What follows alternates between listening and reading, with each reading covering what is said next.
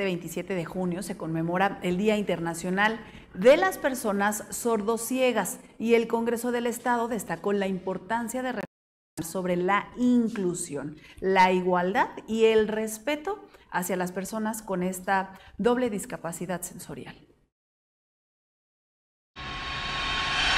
El Congreso del Estado conmemoró el Día Internacional de las Personas Sordociegas, fecha dedicada a reconocer los desafíos y logros de quienes viven con esta doble discapacidad sensorial. Hoy nos reunimos para conmemorar un día muy especial, el Día del Sordociego. Esta jornada es una oportunidad invaluable para reflexionar sobre la inclusión, la igualdad y el respeto hacia aquellos que viven con la doble discapacidad de la sordoceguera. La sordoceguera, una condición que combina la pérdida de audición y visión, representa un reto significativo para quienes la experimentan. Para Noticiero San Luis Potosí, Alondra Yaneli.